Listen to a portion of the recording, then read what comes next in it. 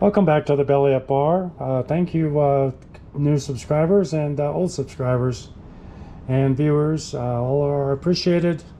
Thank you very much. It keeps me uh, going, and I love making these drinks. Um, so let's get started. This one is uh, Pink Lady. A lot of ways to make this one. I really don't like raw egg white except in a frying pan. So um, I'm going to make it with the cream. It's a cream version. Uh, makes it uh, a little bit creamier. And we're going to use the uh, Applejack and the Bombay Sapphire. So this recipe calls for one and a quarter Bombay, and I'm going to pour it right in the mixing beaker. One.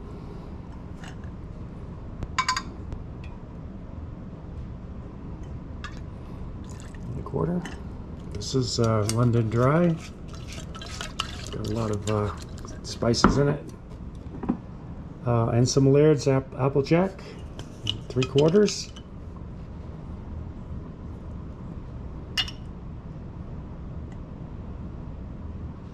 This is nice to have around. It's good stuff. Been around a long time. And one half lemon juice. Fresh.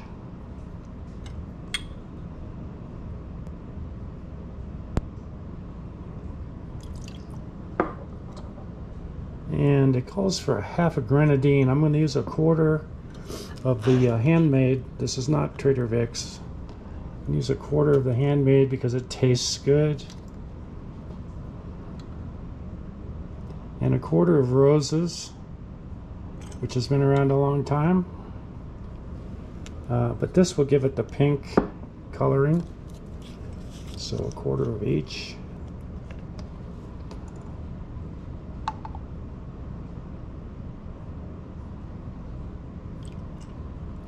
You see the pink coming in.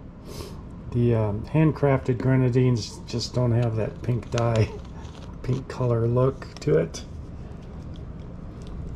And then one half of uh, heavy cream. This is going to make the uh, creaminess.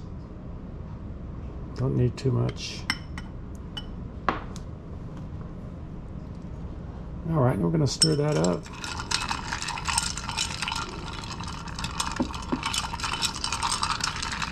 Beautiful pink color, creamy. This one comes in at 25%, so it's a very hefty, uh, hefty drink. And as usual, I put the ice shard in uh, my cocktails because when they uh, get a little warmer, uh, this keeps them uh, keeps them cold. All right, let's drain that out.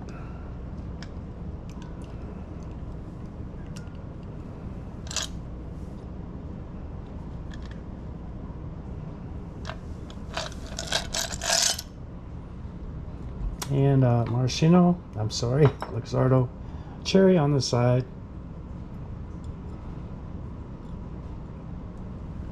And there you have it. This is the uh, Pink Lady.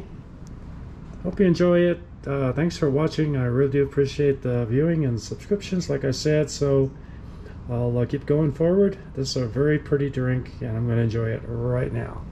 Thanks for watching. I'll see you next time.